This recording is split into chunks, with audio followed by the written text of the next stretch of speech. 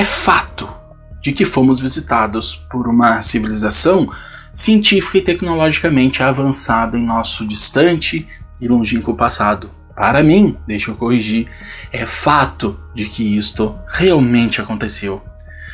E para comprovar, o que não é exatamente uma prova, mas para verificarmos isso, bastaria que observássemos os nossos mitos e histórias contadas por todos os povos antigos, as pinturas nas pinturas rupestres, os livros sagrados, as obras arquitetônicas, todas elas voltadas aos céus, obras feitas às estrelas, aos astros e as incontáveis histórias contos mitológicos de seres vindos das estrelas que criam os seres humanos e os ensinam tudo o que sabem, os ensinam a plantar e a colher e a criar uma civilização propriamente dita.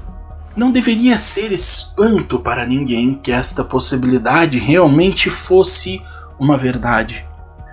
Mas depois de tantos e tantos séculos e milênios, depois de termos acesso a estes mitos antigos, a história mitológica dos Anunnaki na Suméria, eu me pergunto: a quem interessa que estas informações não sejam divulgadas?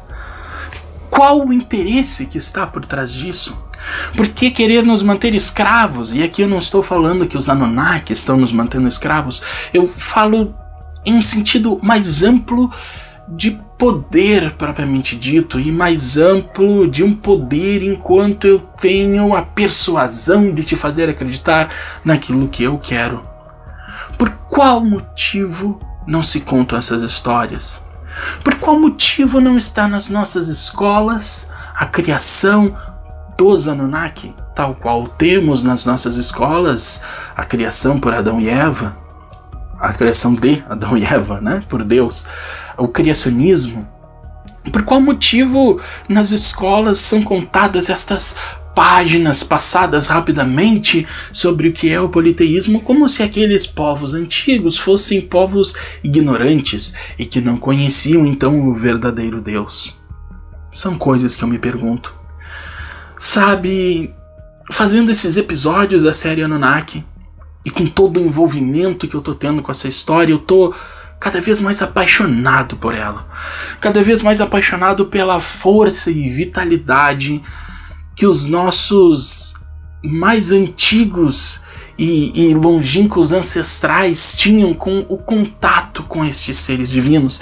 Eu não sei se eu posso me fazer entender o que, que são estes seres divinos, na verdade, é que na minha cabeça se mistura a teoria de Sitchin e tudo que eu li a respeito de todos os outros mitos. Aqueles confrontos que a gente tem com eu li nesse mito tal coisa e na teoria de Sitchin diz tal coisa, elas são diferentes, mas a diferença e a linha é tênue, é muito pequena, e o trabalho que Sitchin fez foi muito grandioso. Então por que tanto ataque a tudo isso? Será que se isso fosse de amplo público, nós talvez desmoronássemos esse castelo de ilusões a que estamos submetidos?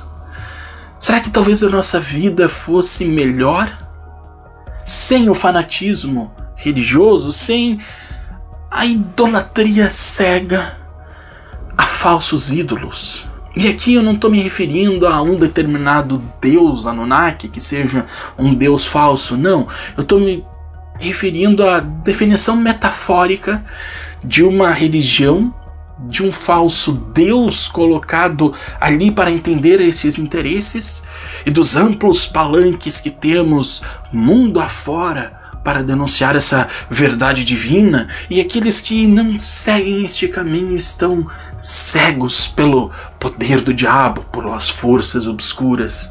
Eu acho que já passou do tempo da gente colocar de lado todo esse lamaçal que inundou a nossa história humana de sangue, de entendermos que ninguém tem a verdade, que todos, todos somos buscadores, mas que ao mesmo tempo nós precisamos trazer à tona aquelas coisas que são fatos, para que a gente possa tentar aliviar um pouco a nossa alma de uma angústia tão grande. E para aqueles que tanto perguntam, sim, eu acredito em Deus, eu vou trazer em outros vídeos uma definição melhor do que eu acredito. Eu não acho que o universo e a vida e tudo que aconteceu aconteceu do nada. Eu há poucos dias visitei e para quem estiver visitando a capital dos gaúchos, pode visitar o Museu de Ciência e Tecnologia da PUC, RS, o MCT. Dá para fazer uma visita até e observando todas as questões que envolvem a física, a química, a biologia, o surgimento da vida de todas as espécies e de todos os animais, a gente se coloca em confronto como tudo pode ter surgido do nada. Então eu não acredito que as coisas surgiram do nada, mas é hora da gente começar a trazer essas verdades. Eu acho que nós que estamos aqui nesse canal, em outros canais também, eu sempre me coloco que eu não sou o dono da verdade, mas eu acho que a gente tem o trabalho e o dever de trazer algumas dessas verdades para as pessoas e de ao menos propagandear. Vai lá e olha. Vai lá e olha a história. Vai lá e olha para onde estão apontados os grandes monumentos que os nossos mais antigos vizinhos, vizinhos não, os nossos ancestrais mais antigos seres humanos construíram. Veja as histórias que eles contavam, veja as histórias que antecedem a Bíblia, veja as tabuletas que estão nos museus, veja as, tabule as tabuletas que Sitchin diz, veja o que ele está dizendo. E tire as suas próprias conclusões. Bom, se você gosta desse conteúdo, me deixa saber, deixa aqui nos comentários. Não deixa de assistir a série Anunnaki. É um conteúdo que eu estou gostando muito de fazer e divulga aí para os teus amigos, familiares e outras pessoas que possam se interessar pelo tema. Não te esquece de dar o teu like e te inscrever aqui no canal para não perder outros vídeos como esse. Encontro você no próximo vídeo. Até lá.